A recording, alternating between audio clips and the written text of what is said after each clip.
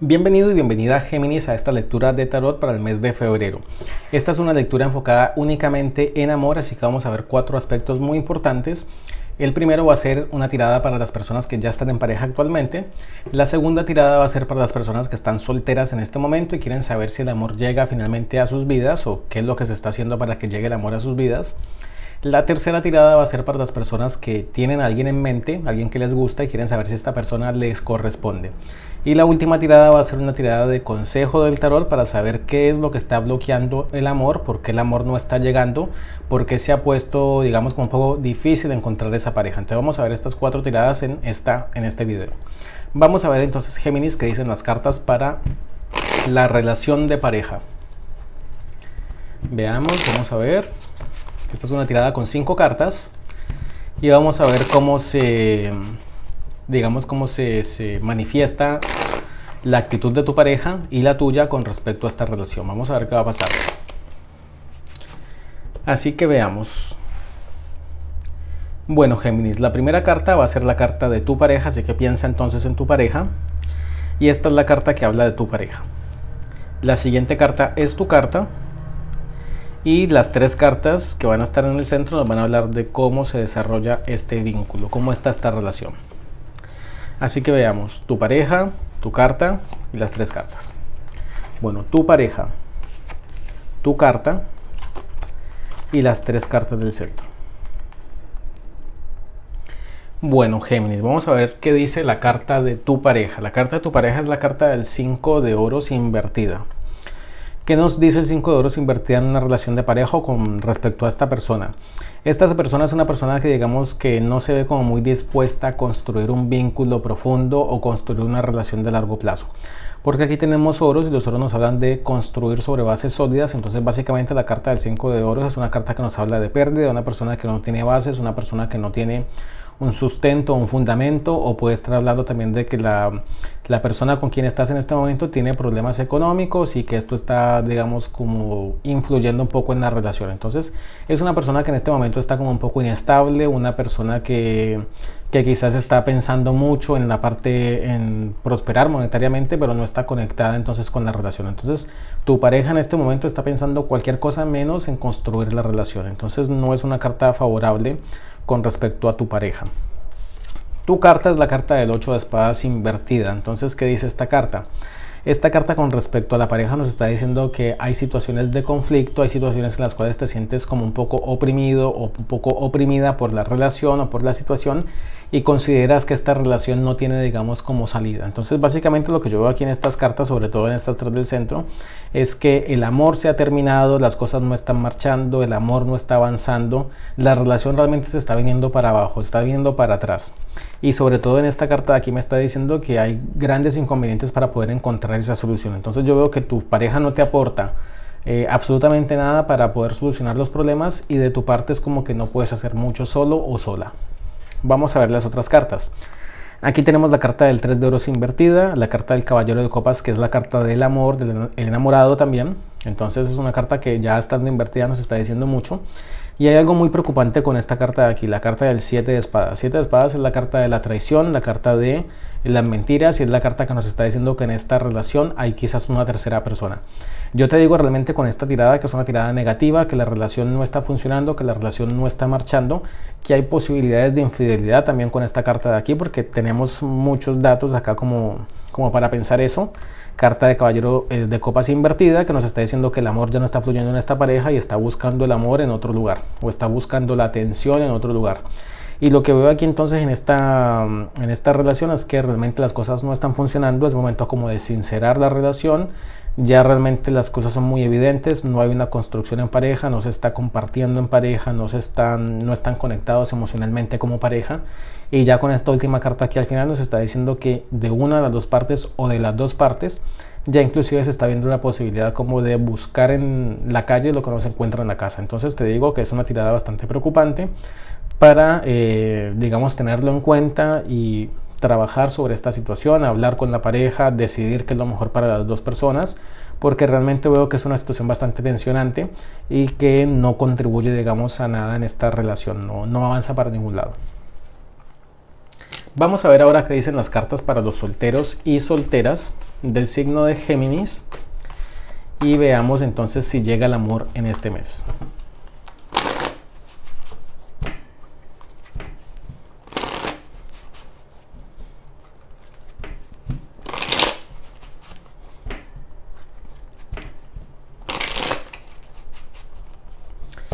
Entonces veamos, solteros y solteras. Vamos a ver si aparece el amor en este mes.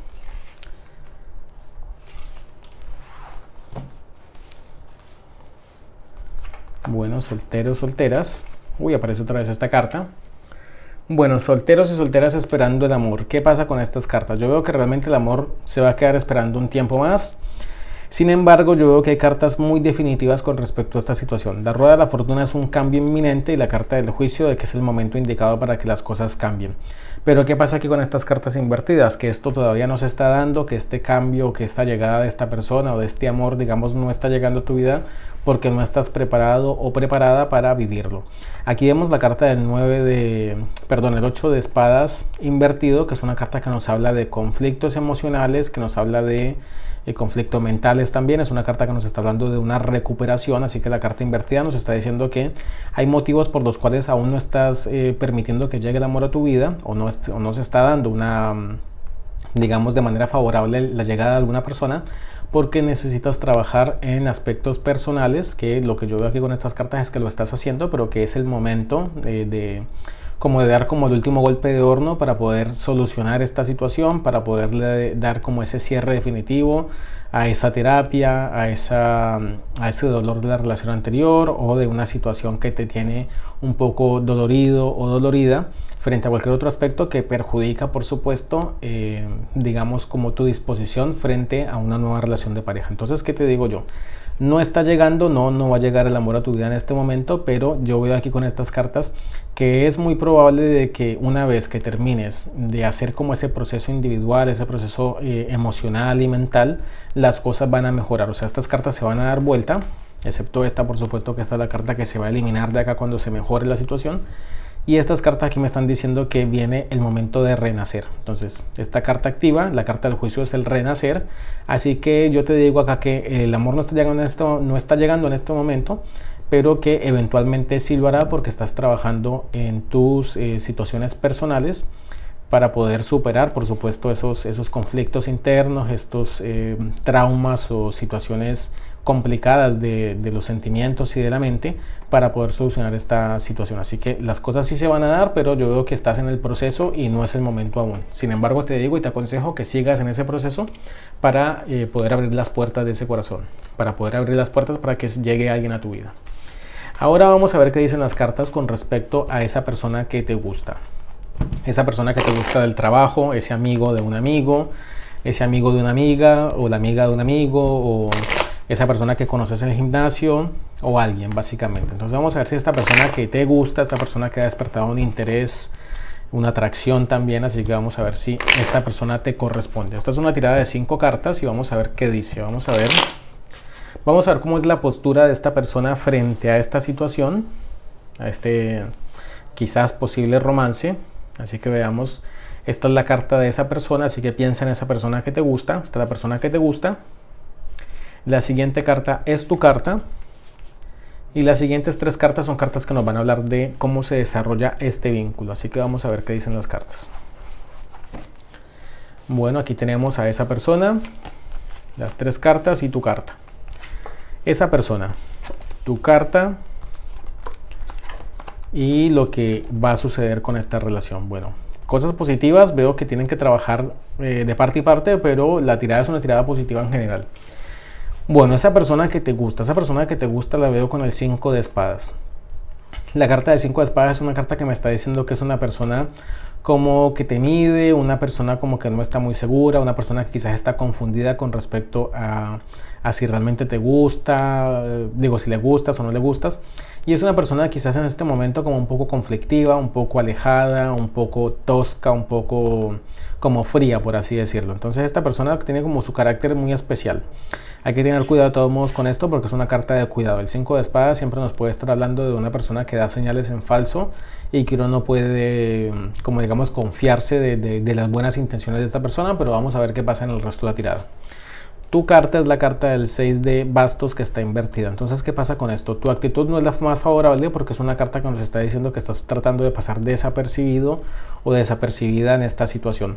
¿Qué dice entonces esta carta? Esta carta me está diciendo cuando te estás mostrando, digamos, con, con ese convencimiento, con esa seguridad, con ese sexapil de, yo soy la persona que, pasa por delante tuyo y, y genera esa esa atracción, entonces es todo lo contrario, estás como con un perfil bastante bajo y no estás mostrando, digamos, tus cualidades eh, de todo aspecto, cualidades personales o físicas y estás como tratando de pasar como desapercibido. Entonces las señales con respecto a esta, hacia esta persona no son claras.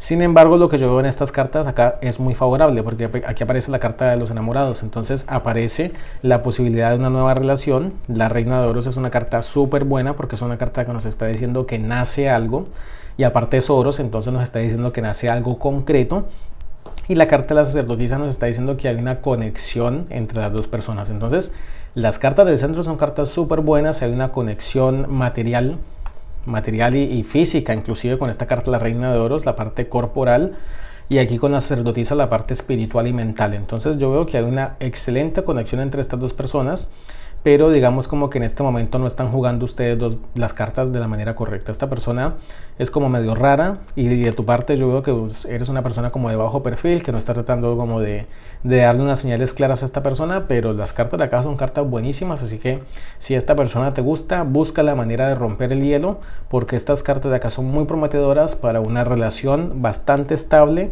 y que se conecta tanto física como espiritualmente. Así que para adelante porque yo veo que hay cosas positivas. Hay que tener cuidado con esa persona de todos modos, pero yo veo que una conexión sí hay, por lo menos algo arranca definitivamente. Y vamos a terminar esta tirada con una tirada de consejo del tarot para saber qué es lo que está pasando con respecto a tu corazón, por qué no está llegando el amor a tu vida, qué es lo que está pasando, de dónde viene ese bloqueo, si de pronto es una actitud tuya o es mala suerte o algo está pasando y ese amor que tanto estás esperando en tu vida simplemente no llega. Vamos a ver qué dicen las cartas.